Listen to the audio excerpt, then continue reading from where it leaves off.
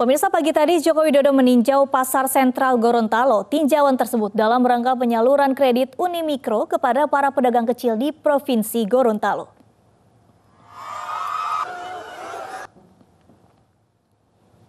Menurut Jokowi, kredit unit mikro diharapkan bisa meningkatkan penghasilan para pedagang. Jokowi mengingatkan agar kreditur sudah memiliki perencanaan sebelum meminjam, antara lain target capaian hingga kedisiplinan membayar cicilan. Program Ultramikro adalah program pelengkap dari program kredit usaha rakyat. Kredit ini diberikan kepada seluruh usaha mikro yakni yang beromset di bawah 10 juta rupiah. Ya, selain menyalurkan kredit, Jokowi ditemani ibu negara berkeliling meninjau pasar sekaligus berbelanja sejumlah bahan pokok seperti tomat dan kacang hijau. Saya dulu memulai seperti Bapak Ibu sekalian. Jangan dipikir tahu-tahu bisa usaha gede, enggak.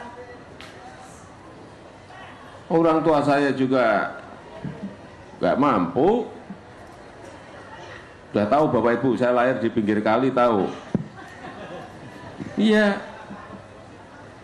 Jadi untuk berusaha itu betul-betul dari nol dan pinjam. Tapi ya disiplin, ngangsurnya disiplin. Sehingga dipercaya. Kalau dipercaya, pinjam lagi yang lebih gede gampang.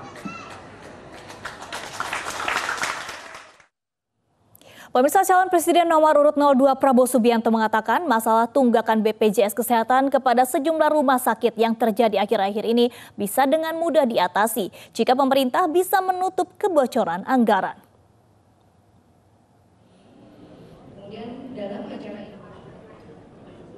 Hal itu dikatakan Prabowo dalam silaturahmi paslon presiden dan wakil presiden bersama komunitas kesehatan. Bukan hanya masalah BPJS, masalah kesehatan lainnya, mulai dari promosi kesehatan hingga kesejahteraan dokter di daerah terpencil, bisa diperbaiki jika pengelolaan anggarannya benar.